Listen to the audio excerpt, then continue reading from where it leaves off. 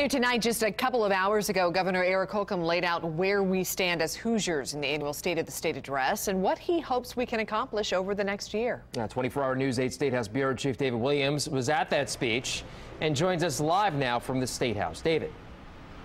Well, good evening to you both. This is the copy of the governor's speech from tonight right here at the State House. In it, it outlines what the governor hopes to accomplish this year in 2018. The speech heavily focused on education and jobs.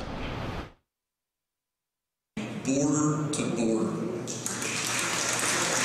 in his second State of the State, Governor Eric Holcomb made it clear while he wants to continue to focus on bringing jobs to Indiana, we also now need to focus on filling the jobs already in our state. Right now, we have 85,000 jobs in Indiana unfilled because employers simply can't find the people equipped with the skills they need. And add in the IEDCs, 30,000 new jobs with even more on the way this year not to mention the more than 1 million jobs to be filled over the next 10 years as baby boomers retire. The key to that, he says, is education. By 2019, the governor wants to increase the number of work based internships and apprenticeships in the state from 12,000 to 50,000. He also wants to create a new Education to Career Pathways cabinet to drive legislation and funding for this plan. Far outside the classroom, Holcomb's speech also touched on the opioid crisis in Indiana and how he plans to fight it. We'll seek to increase the number of opioid treatment locations from 18 to 27. So nearly everyone in the state will be less than an hour's drive to treatment. Democratic leaders slammed parts of the governor's speech, saying some of it missed the mark and fell flat. As far as boldness and leadership, I thought it lacked both of those. Uh, he uh, specifically talked about the opioid problem and talked about a couple of the areas that they were going to do to try to curb that.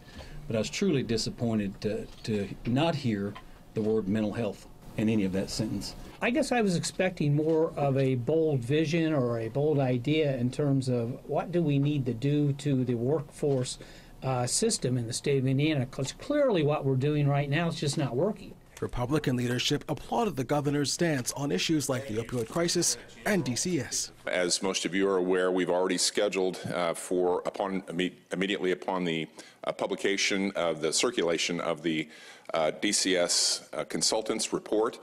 Uh, a special meeting of the Legislative Council to focus on that after members have had a time to, uh, to look at it and digest it. And that's precisely what the governor ought to be doing. Now, also in that speech, the governor touched on infant mortality as well as infrastructure in that speech. Now, in terms of DCS, the governor uh, said that he, as you heard, would get those progress reports and report out to the public and legislature.